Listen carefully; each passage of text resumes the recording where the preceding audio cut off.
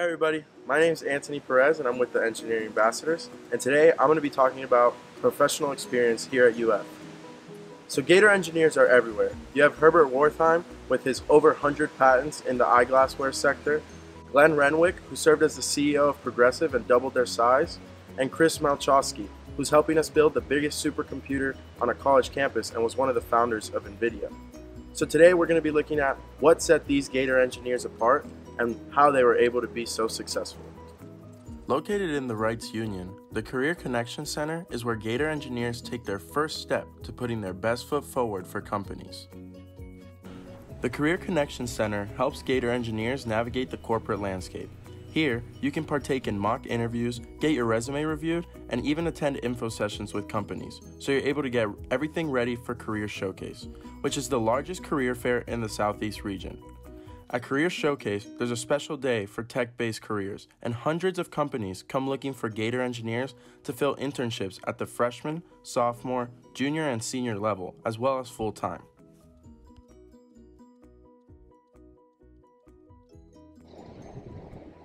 Wow, those are some pretty cool resources. Now let's go see if we can find some Gator engineers who are able to capitalize on those amazing opportunities.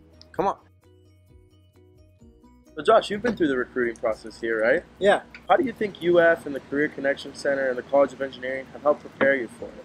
I would say all those resources were very useful um, because I was able to get my resume critiqued. Even just bridging the gap of me getting to connect with the recruiter through the Career Connection Center helped me a lot. So I got really good feedback from my internship. So I think I did really well. Awesome. Congrats, man. Thank you, bro.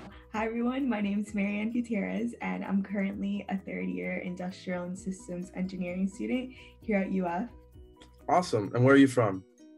So I'm originally from Venezuela, but right now I live in South Florida. That's super cool to hear. Can you talk a little bit about um, your journey at UF and kind of how you found your footing and, and what things you took advantage of? Yeah, definitely. So coming to US my freshman year, I think they really set the stage to allow you to get those internships and to get that professional experience for your career. So personally, I know I took advantage of the Career Connection Center. Um, more importantly, I think by Gator Engineering having these separate career fairs where employers come specifically for engineering students, it really opens up the number of positions and the number of roles that are available to us. So by UF offering this separate career fair for engineering students, it really gives us a step up. And also I think the fact that the school has placed so much emphasis on its engineering organizations really does give you like that sense of community and environment where you see other people helping each other through resume critiques, through helping you write cover letters, through telling you about positions, telling you about applications. And I think that personally has really allowed me to find both my internships throughout my time at UF.